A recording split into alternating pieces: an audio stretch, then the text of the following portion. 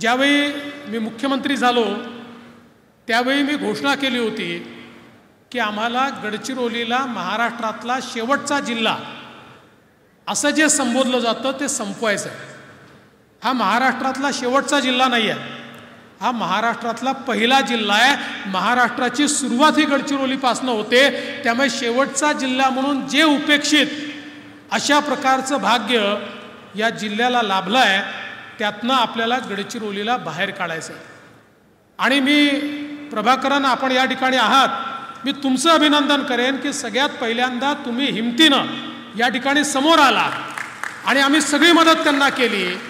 आणि त्यांनी पहिल्यांदा लॉईड्सचं इन्व्हेस्टमेंट केलं. आणि त्यातनं हे दाखवलं की सामान्य माणसाला समृद्धी देता येऊ शकते. आज अनेक अफवा चालतात.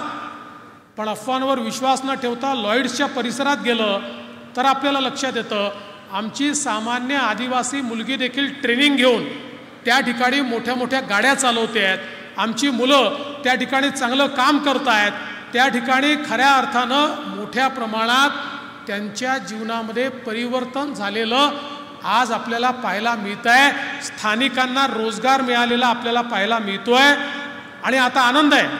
सुनील जोशीजी तुम्ही हा निर्णय घेतला आणि या ठिकाणी आता हा इतका मोठा उद्योग तुम्ही लावतात आणि तुम्ही देखील मी बाबा तुमचं अभिनंदन करेन. खरं म्हणजे आमचे बाबा राजे आहेत.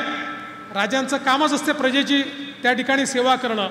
पण राजांनी आपली स्वतःची जमीन ही प्रजेकरता या ठिकाणी दिली त्याबद्दल तुमचं मी मनापासून अभिनंदन करतो.